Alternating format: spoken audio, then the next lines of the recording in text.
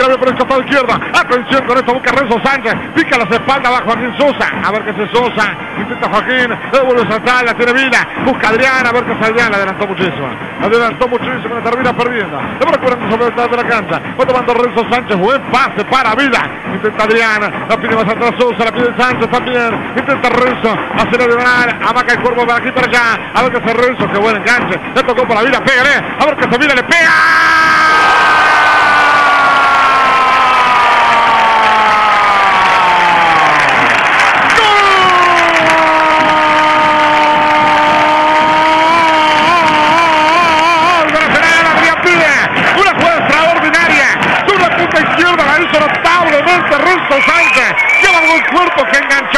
Se la sirvió para que aparezca Adrián Vila, que hizo la diagonal se metió y se el tiempo hacia adentro. Y en la disparada del área se animó, le dije, pégale muchacha. Y la colocó sobre la punta izquierda, sobre el parante zurdo del arquero. Bisontini para que Nacional a los 5 minutos con 50 en un partido sin idea, en una noche cerradísima para el equipo de repente Vila.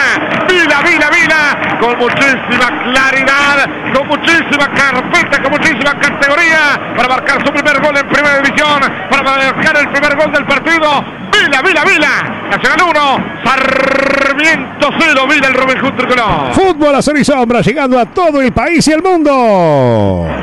Un golazo, eh, por la jugada previa. No sé si fue Sánchez el que hizo la jugada, eh, que apiló a dos jugadores y se la dejó Vila. Y Vila hizo lo que hay que hacer enganchar y rematar. Remató, fue un golazo verdaderamente fuera de contexto del partido, gana Nacional.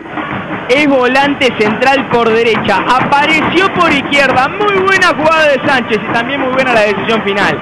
Dársela al número 29 que se animó a patear, venía envalentonado en los primeros minutos en la cancha, termina animándose a patear para poner el 1 a 0 en un partido que parecía irse sin goles.